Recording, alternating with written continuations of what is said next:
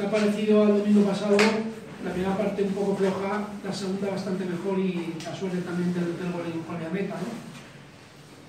Pero, Para mí al revés. La primera parte bastante buena, la segunda no tanto, muy parecida a la primera, pero bueno, la suerte que hemos tenido. Luego no hemos tenido el remate de Antonio, el remate de Velasco, pero bien.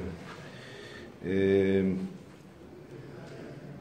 yo he visto muchos partidos de Roda en casa y yo creo que lo mejor que hemos hecho, le hemos anulado todo lo que podía hacer la Roda, porque lo- los partidos que he visto yo, creo que aquí dominaron varios, eh, varios, varios partidos con ocasiones. Yo creo que a nosotros hoy, excepto el tiro en el minuto 90 que fue fuera de juego, no nos hicieron mucho daño, casi ninguno, ¿Ha habido mejoría refer- referente a los otros partidos? evidentemente. No, a los otros partidos, No, no, no, a los partidos. no. a, los... Yo creo que mejoría notable.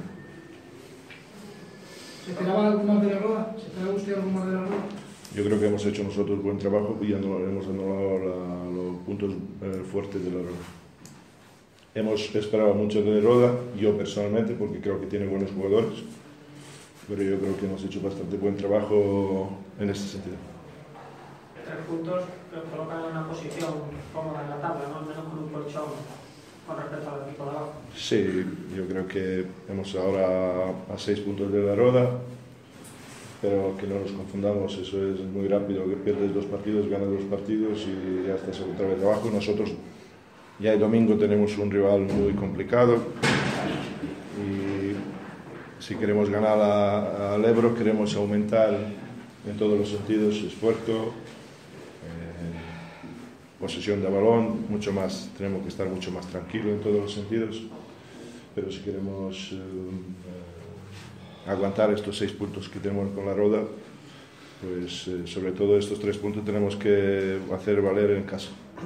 ¿Cómo ve al equipo después de estas mm, más de dos semanas de trabajo? Bueno, lo que, yo lo que quería poner un poco, todos sabíamos que el equipo tiene calidad en, en- en algunos puestos de- del equipo, necesitamos, bajo mi punto de vista, un poquito más de intensidad y en este sentido creo que sobre todo hoy hemos, hemos conseguido.